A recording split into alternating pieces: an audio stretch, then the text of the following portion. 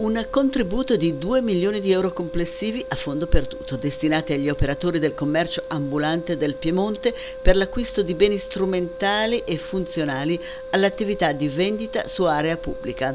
Ed è questo il contenuto del bando promosso dall'assessore al commercio, agricoltura e cibo della Regione Piemonte Paolo Buongiovanni, pubblicato sulla pagina della Regione. Una misura, sottolinea l'assessore, che ho voluto insieme al Presidente Cirio e fatto inserire nell'ultimo ultimo bilancio come capogruppo di Fratelli d'Italia e che ora da assessore rendo immediatamente operativa. Il commercio ambulante di prossimità, ancora sottolinea Bongiovanni, riveste un'importanza che va al di là della pura dimensione economica e imprenditoriale perché rappresenta un fondamentale presidio sociale. Il contributo offerto dal bando, intitolato Sostegno a favore degli operatori del commercio su area pubblica, può coprire fino all'80% della spesa ammissibile con un massimo di 2.000 euro per ogni operatore.